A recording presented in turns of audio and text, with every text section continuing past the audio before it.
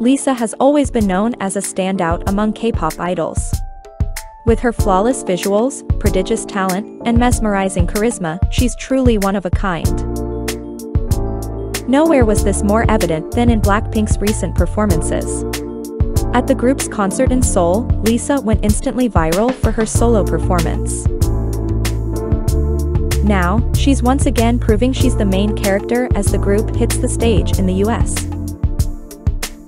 Her interactions with fans at the soundcheck in Dallas already had hearts melting, so it's no surprise that her tiny waist and body proportions had some blinks flatlining.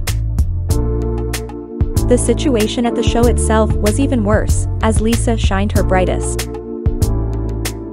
She gained praise for her unmatched stage presence, which made itself evident in the absolute silence that reigned when she shouted out, Everyone, silent. Everyone silent! And in the way Blinks chanted her name too. Her solo stage has once again gone viral, proving her undeniable power. There was no doubt that she left fans absolutely shook.